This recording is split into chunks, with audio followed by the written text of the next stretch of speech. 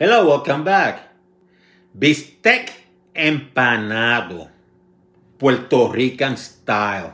La my grandmother, mi abuelita, used to cook it when I was in the kitchen, when I was 9, 10, 11 years old, watching her and pretty much following her same technique.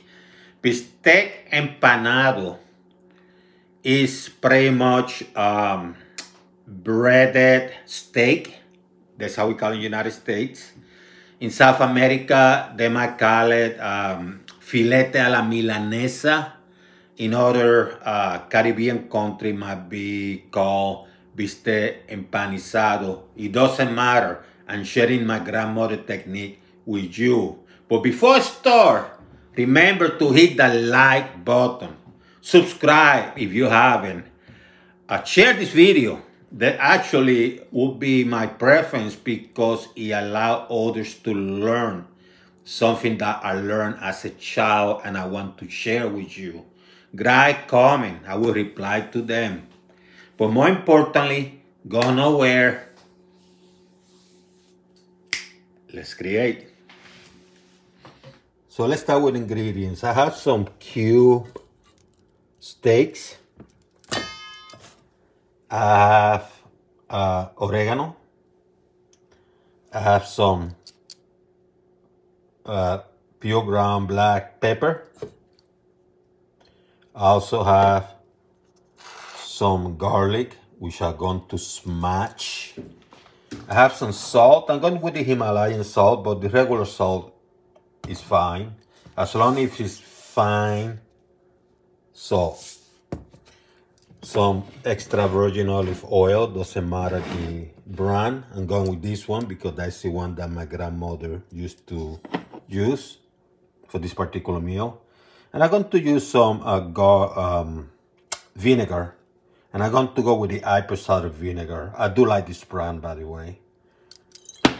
And of course i'm going to use the breadcrumbs. And i went with a low cost one already ready to go um, actually, what my grandmother used to do, she used to take crackers, no, uh, you know, the saltine crackers, but without the salt. So just crackers, and she used to smash them, and she used to use that as a, as the crumbs.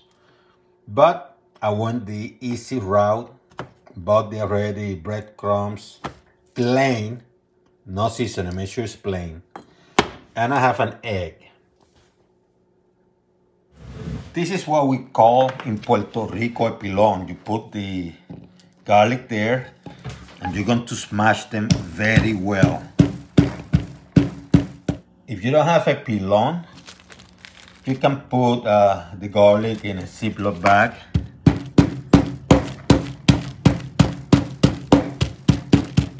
and do something similar. Smash it out. It is. Doesn't have to be perfect. So you have your, uh, what we call in Puerto Rico, bistec.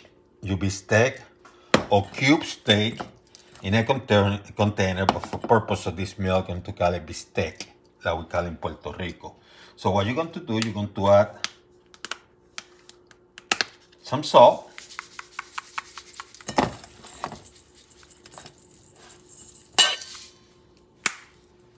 to add a little bit of pepper.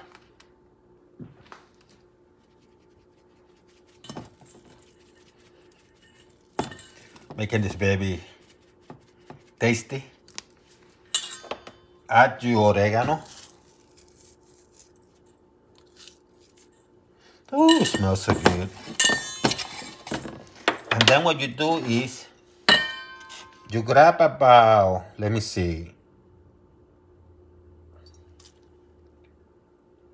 a couple of caps from your vinegar.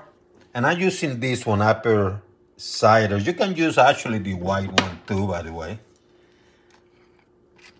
And a cap or two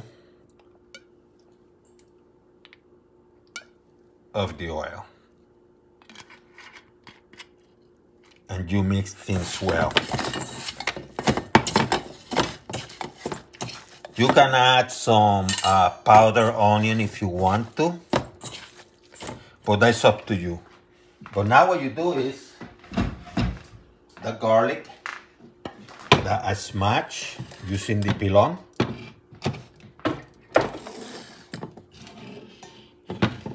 I'm going to grab it.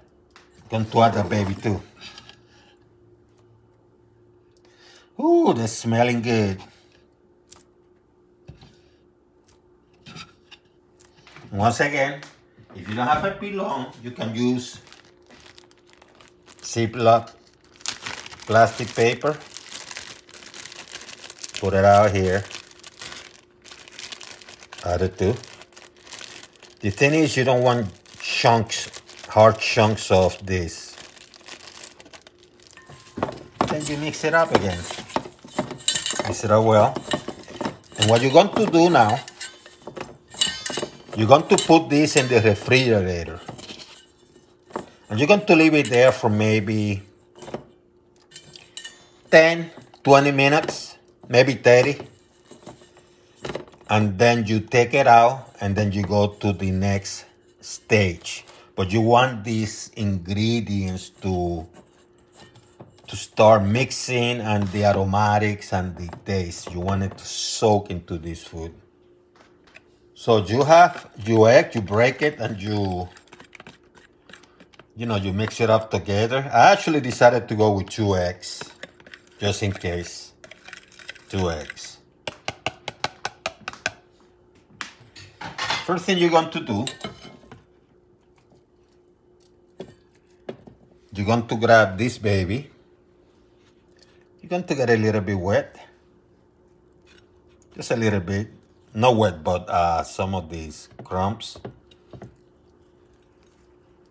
Then you move to the egg, put it there, both sides, you know, get away with the egg.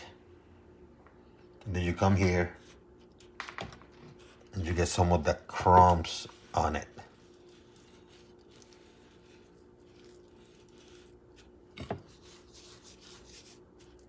And then when you get that crumb on it, stick into it, you come, you transfer to a plate and you repeat the process with the other ones. Let me grab a small one. I, I like to get it set up with a little bit of crumb, then go to the egg, get them wet. It's like the glue, right? Make sure you wash your hands because, you know, you're dealing with raw egg here after you handle this stuff and you're dealing with raw meat. But I'm going old school like my grandmother used to do it with her hands. Remembering her. Biste. This biste. See? So you want to make sure this uh, pan is hot and using vegetable oil actually. Uh, I don't want to, I mean, I used that vegetable oil for something else earlier. So I'm not going to throw it away, I'm going to use it again. I traditionally cook with extra virgin olive oil, but for this I'm going to use this one. And, you know, this is high heat. You're going to add this baby and you're going to make sure it's cooked. You might want to cook it on one side for like two minutes because this is kind of thin.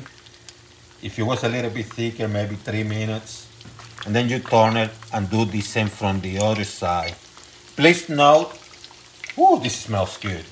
Please note when you cook this kind of uh, of uh, bistec, the Puerto Rican style, this type of bistec, you're not cooking it medium rare, rare. No, you're cooking it. I mean, you're not frying it, frying it, but you're cooking it. You don't want it bloody, anything like that. You make sure it's cooked. In a couple minutes, I'm going to turn it around. I'm going to lower the heat uh, to couple notches about medium. Although I like it a little bit toasty, I don't want it to dark.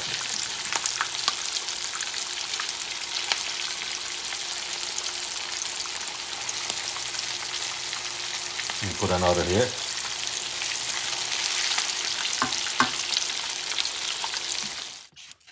So once they're cooked, I transfer them to, you know, a plate or paper plate or whatever. I put some napkins, let that grease soak out. Hmm. wow. Hmm.